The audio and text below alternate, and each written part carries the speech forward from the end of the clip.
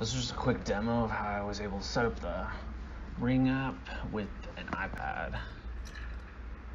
So the minute motion detects, it automatically pops up the live view. And then a lot of people have problems putting it back to the next app or closing the Ring app down. So I did a 30 second timer and it goes back to the home app.